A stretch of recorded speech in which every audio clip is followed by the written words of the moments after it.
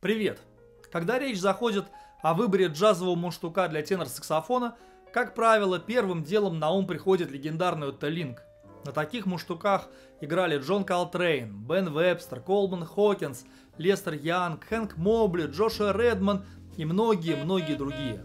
Это настоящая классика, универсальный мундштук, который любой тенорист должен иметь в своем арсенале. Отто Линк производит свои мундштуки с 20-х годов прошлого века. В истории этого бренда были взлеты и падения. В 1975 году права на производство мундштуков перешли к фирме Babbitt. С этого момента объемы производства многократно выросли, а качество несколько упало. 60-е годы можно считать периодом максимального взлета фирмы Otto Link и их легендарной модели Supertone Master.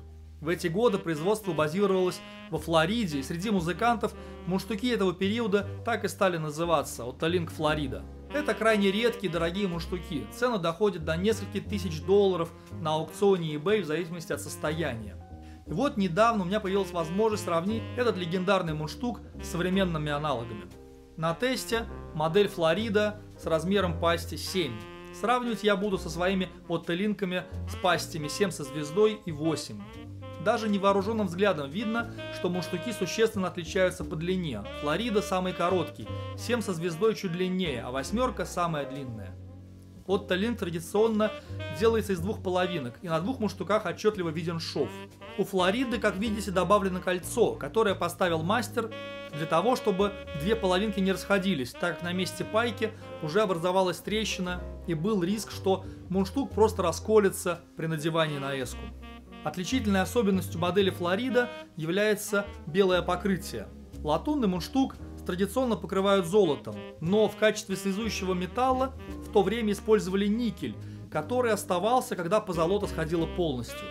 Также Флорида отличается наличием небольшого металлического наплыва в начале клюва, который по-английски называется roll-over buffle. На новых моделях этот наплыв имеет чуть другую форму, что в теории должно повлиять на звук. Но думаю, что форма бафла волнует вас меньше всего. Давайте же сравним все три мундштука по звуку. Играть буду на тростях Lavos Medium, также обращая внимание, что все три мундштука имеют немного отличающиеся пасти, что также повлияет на звук.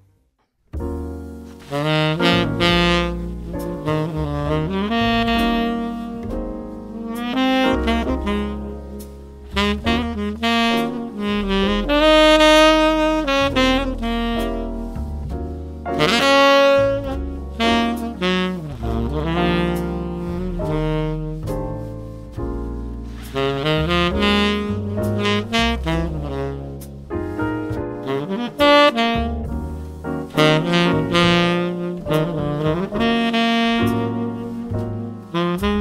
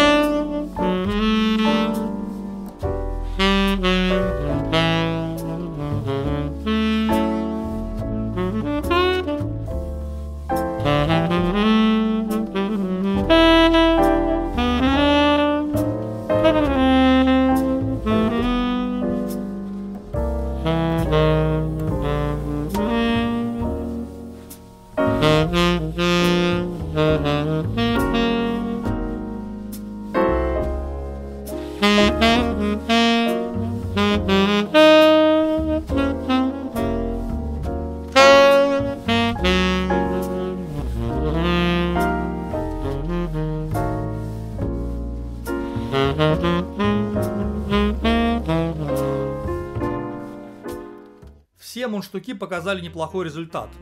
По моему мнению, Флорида чуть ярче, но это может быть следствием чуть меньшего размера пасти. В любом случае у вас есть возможность сделать собственные выводы, которые я с удовольствием почитаю в комментариях под этим видео.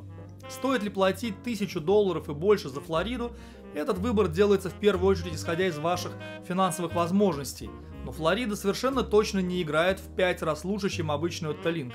Но разница все же есть. Часто за эти небольшие нюансы музыканты готовы выкладывать космические суммы. Надеюсь, что помог вам в выборе мундштука и развеял некоторые сомнения.